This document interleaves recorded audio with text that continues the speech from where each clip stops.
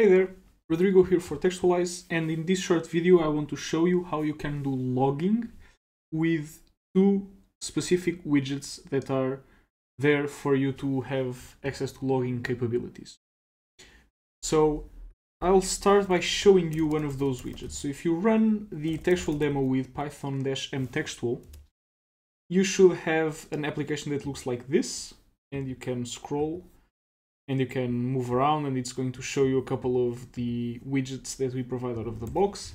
Now, if you press, I think F1, yes, exactly. So if you press F1, there's a, and you can also um, use the footer button, sorry. So if you press F1, you'll have a panel like this that shows a couple of um, logging messages when you click the sidebar here on the left or when you click the start button over here so this logging that's happening is happening with one of these widgets that I want to tell you about.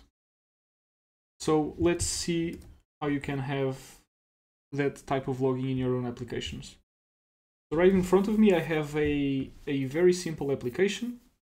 The only thing that's happening here is I have a button and I created a handler for the button press, but the handler doesn't do anything yet. So if I run my application, textual run, but uh, sorry, my app. So I have a button there, but nothing happens.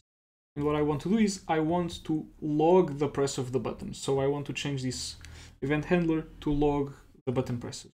And like I said, there's two ways in which you can do that. One of those is by using the rich log widget. So I'm going to yield a rich log here and in here I'm going to query the rich log and then I'm going to use the write method to write the whole event. So the event here is a button pressed event and I'm going to write the event to the rich log. Now the rich log is called rich log because it allows you to write rich renderables. So if something is a renderable, you can write it to the log even though it's not a string. So for example, the event here is a button pressed instance, but it's a rich um, renderable, and so you can write it to the log directly. And so if I run the application now, if I click the button, you'll see that the button press is being logged. Sorry about that. The button press is being logged, and it even has um, color.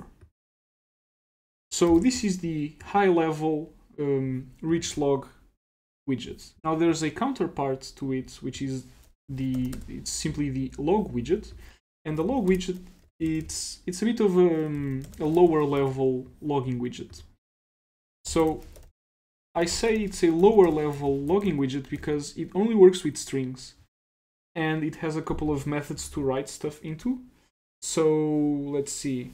You can write to it and it will not create a new line. So you can write things across uh, the same line. You can write a single line or you can write a bunch of lines at the same time but it only works with strings. So you can see the write or write line, which is the one I'm going to use.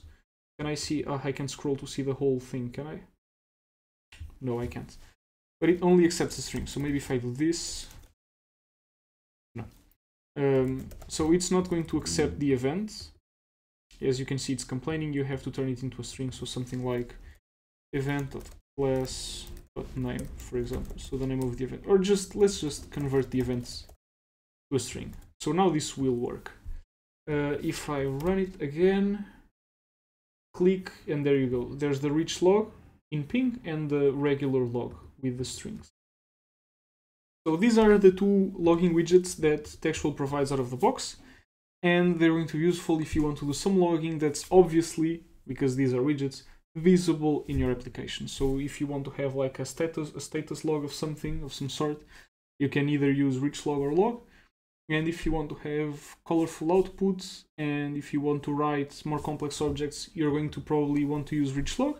And if you're doing lower level logging if you want to write strings only then you will be um, better served with the log widget so that that's it for now i'll leave the documentation links below and the code and if you have any questions feel free to ask. Cheers